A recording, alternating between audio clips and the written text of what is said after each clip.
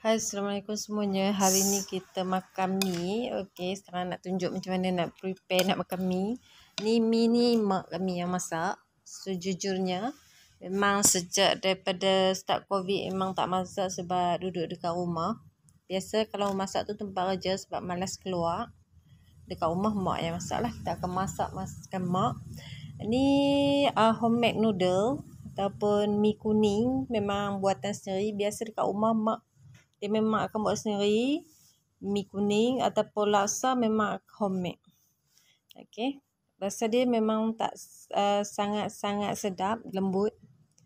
Okey yang penting uh, lebih bersih lah.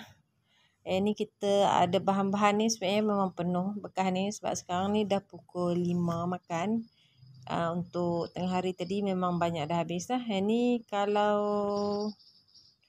Biasa ni ni ada sekali dengan cucuk udang ataupun jeput.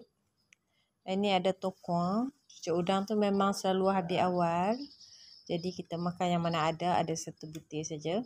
Ini bawang, daun bawang, daun bawang dengan cili besar ataupun kalau dekat Kedah panggil cili duk.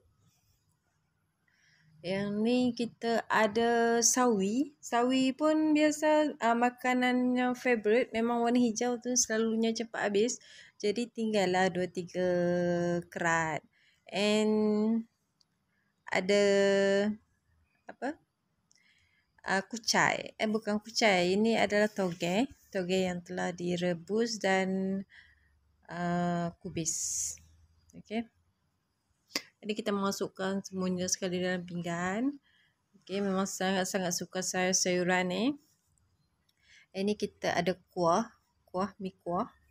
Kuah ni sangat-sangat simple. Ada video yang lepas ada tunjuk resipi.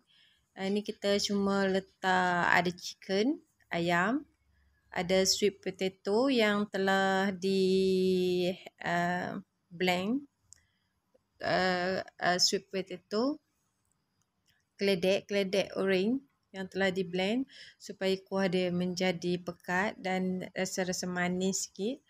Okey dan uh, letak chili blend dengan bawang saja. And sedikit uh, garam sebagai perasa tu je resepi dia sangat-sangat simple tapi sangat-sangat sedap. Marvelous. Memang tak pernah mengecewakan. Okey, jadi ni kita akan tambah cili, strip cili pun sambal udang. Sambal udang sangat-sangat sedap.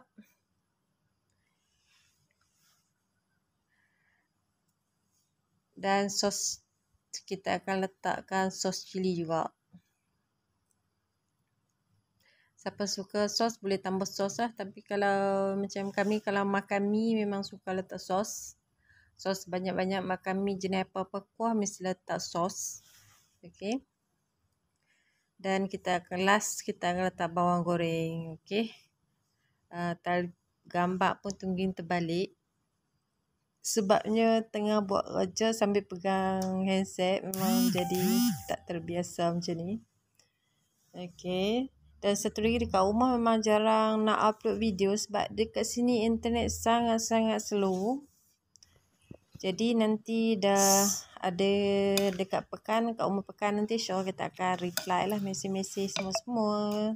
Okay, itu saja. Assalamualaikum. Selamat menonton. Terima kasih.